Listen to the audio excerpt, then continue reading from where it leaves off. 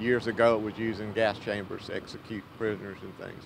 It's used for plexiglass and uh, other plastics in the industries that, uh, that we serve.